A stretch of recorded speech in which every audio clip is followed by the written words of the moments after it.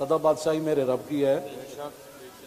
इस हद तक आगे न जाओ कि फिर तुम्हें भागने के लिए अल्लाह के गजब से जगह भी न मिले।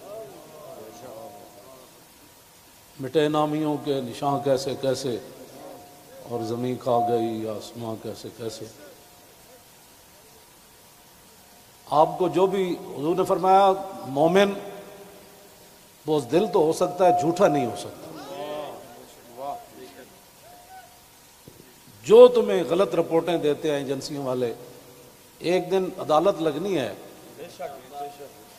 जहाँ एक बिल्ली को बांधने वाली औरत जहन्नम में चली गई, हजूर ने फरमाया, मैंने देखा, उसका चेहरा नोच रही थी। तो तुम इन हजूर के गुलामों पर जैसे शैलिंग करते हो, और जिस बेदर्दी के साथ तुम इनको गिरफ़्तार करते हो, फिर लब्बैक के नारे के ऊपर तुम मारते हो इनको। जिस दिन आप अदालत बैसी, तिल तिल लिखिया भरना।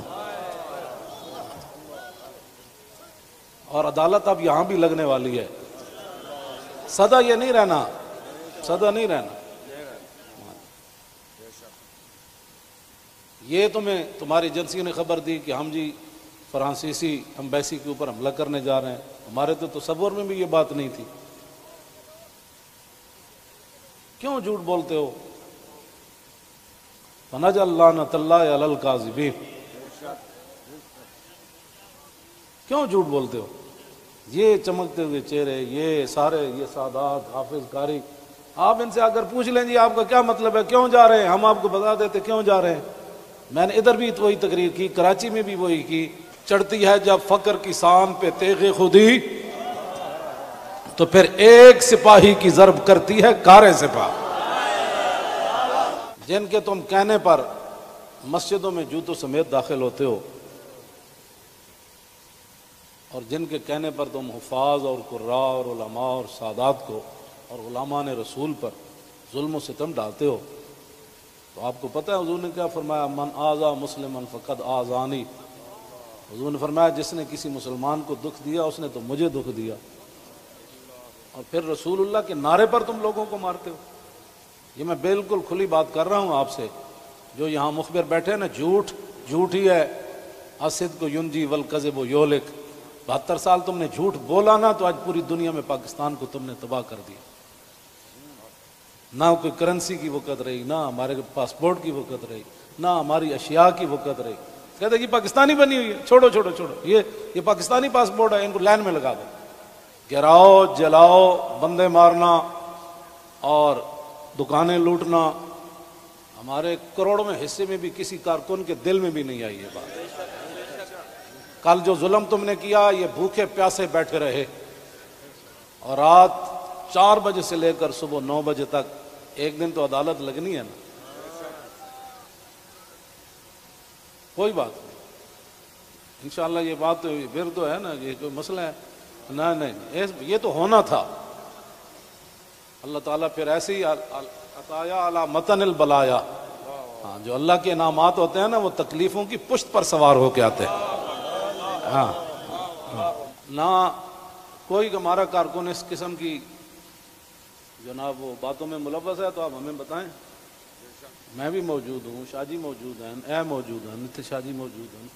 हमारे सरपरस्त आलम मौजूद हैं हमारे शाहजी आगे आगे बैठे हैं। सैयद जहीरुल हसन शाह साहब मौजूद हैं। आपको क्या मसाइल है हमसे? वो जो दर्द है ना, वो असल बताएँ आपको। हाँ जी, वो बताएँ। वो दर्द तो है जब वो तो क्यामत तक रहने हैं। और ये ना हो कि क्यामत वाले दिन, वमताजुल योम हल मुजरिमून में तुम भी खड़े हो जाओ। और उस दिन फिर योम यादुजालिम वाला यद उस दिन फिर अपने हाथ काटो कि हाय, हमने लब्बैक वालों के साथ ये जुल्म क्यों किए थे? लेकिन आज ले इनकी पनाह। कोई हमारे मकासद ऐसे नहीं है। आपको एजेंसियाँ गलत रिपोर्ट देती हैं। और इन ये क्यामत वाले उंगलियाँ भी बोल पड़ेंगी। जो तुम हमारे खिलाफ झूठ लिखते हो ना, कि ये मंसूबे बना रहे थे, ये दहशत गर्दी करना चाहते थे। हमारे ये मकासद में ही बात नहीं है। हम तो इतना चाहते हैं कि बस सफीर निकाल दो, बात खत्म। हम, हमने क्यों उसको आग लगानी है? हम तो ये जो इधर खड़े हैं ना, वो दरख्त का पत्ता काटने के लिए भी हम तैयार नहीं है। अब तुम हमें, हमसे कौन सा वो सनद लेना चाहते हो? वो ज़रा सनद इख्तियार करके मुझे भी लाहौर भेज देना कि पाकिस्तान की इस तरह बंदा मुहब वतन होता है, ये सनद है उसकी। हाँ हम, हमारे शाह साहब को भी भेज देना और हम फिर आपको उस पर साइन करके भेज देंगे कि जी मुहब वतन वो होता है। मैं आप आगे हजफ कर रहा हूँ सारे। हाँ मुहब वतन कौन होते हैं? मैं हजफ कर रहा हूँ सारी बातें। हाँ जी। ये बातें हम नहीं करना चाहते। हम रसूलुल्लाह के ग़ुलाम हैं और हुजूर की इज़्ज़त के लिए हम बाहर निकले हैं। तो हमने डाका मारा, वोटों पर हमने कोई एहतजाज किया? कि कुछ भी नहीं किया। आंदा भी डाका मारोगे तो क्या करोगे? सदा तुमने रहना है। हुजूर का दीन तो आना ही आना है। ये शाह साहब ने जो गुफ्तु की है ना इकबाल कलंदर लाहौरी कहता है हल्का दुर्वेशों वो मर्द खुदा कैसा है। हल्का दुर्वेशों वो मर्द खुदा कैसा वो जिसके गरेबा में हंगामा रुस्ता खेज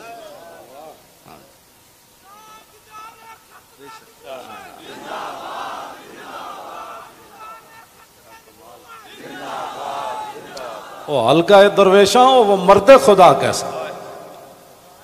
हाँ। अल्लाह, जो ज़िक्र की गर्मी से शम्मा की तरह रोशन, जो फ़िक्र की सूरत में बिजली से ज़्यादा तेज।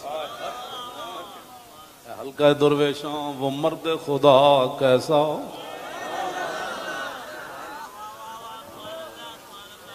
वो हल्का दुर्वेशा वो मर्द खुदा कैसा? हल्का दुर्वेशा हो मर्द खुदा कैसे। गैरत है बड़ी चीज़ जहाने तगोदा में। ये सारे, ये तो आप। कल मैंने जब आपका मंजर देखा ना तो मैंने कहा सदियाँ गुजर गई आपने जो वहाँ कल मंजर बनाया ना, ये बनाने से नहीं बना, बात कहीं और से आ गई।